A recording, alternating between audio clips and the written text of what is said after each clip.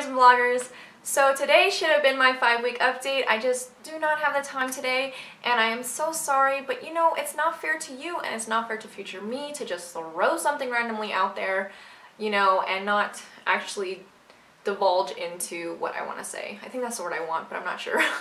but anywho, so this is just kind of like an update and introducing this pregnancy. So let's get into it.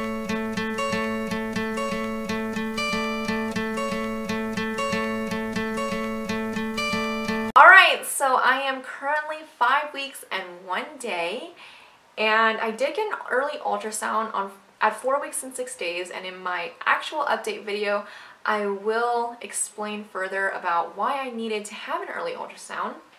But for right now I just kind of want to say that everything looks the way that it should and that's so amazing and that's exactly what we were hoping for and both myself and Christopher and my OB feel very confident that maybe this will be our rainbow baby. So that is so exciting. And currently she has me on progesterone and she said that we'll probably do that until 10 weeks and then kind of kind of decide from there where to go.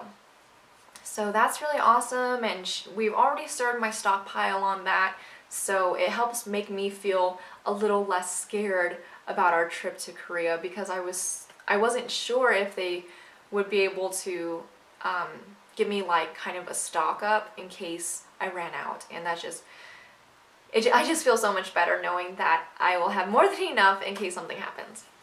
So moving on, um, the way that I found out. So it was the 24th of January and it was a Sunday and we just weren't really doing much that day and the only reason why I took a test is because I was so hormonal. I was so hormonal and just so tired and there was no reason to be tired because I had been relaxing pretty often and so I just decided to take a test. I didn't think much of it so when I took it I just kind of left it on the counter and I walked away to go do what I what I needed to do. I don't remember what I was doing exactly. But about five minutes later I remembered and I was like, oh Christopher can you go take a look at that test? I don't really remember, you know, if I looked at it or not. So he looked and he was like, well there's two lines there and honestly the rest of the day is sort of a blur. I think we were just kind of in shock and we just sort of like moseyed on our way. Like we just kind of acted like life was as it was. We, we were just in shock. And then uh, the next day on Monday I tested again just to make sure that I wasn't seeing things because it is a blue dye test and blue dye tests usually give false positives. Um, so I took another test and it was really faint so I was like, ah, oh, you know, I'm probably not pregnant, it's just faulty test. But I went in anyway to get my blood drawn and it was at 99, which you have to be above 5 to be pregnant. So I was, I was pregnant, you know, being at 99. And from there just kind of progressed and I will talk about that in the next vlog. Um, but yeah, it was a huge shock and I really was cautious on telling anybody.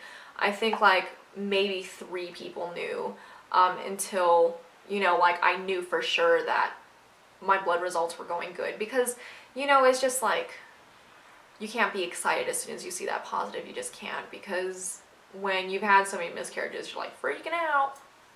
But, and I, a lot of people have given me, a lot of people that are not on my Facebook have kind of been like, hey, you know, why would you announce so early? That's bizarre. Um, in my mind, announcing early is not going to change the future. It's not going to be like, oh, you know, it's, it's not. Like, if you're going to miscarry, you're going to miscarry. And I hated announcing losing my babies and not celebrating them. So this, this kind of gave me the opportunity to celebrate them and not so much just like, so they're gone. You know, it, it just, it feels right to do it this way. So I just kind of threw away what others would think about us and we decided to just just tell everyone. But yeah, so anyways, um, as far as belly pictures go, I will probably show you my belly during my five week update, but I don't really plan to show my belly very often. That's just a personal choice because I've noticed that for some reason when people are pregnant, everyone just thinks it's an excuse to tell people what they think about how big or how small they are. Like I've had so many people tell me, oh, you look like negative five months pregnant or this and that and whatever. And I just want to eliminate that. So I don't really plan to show my belly at all.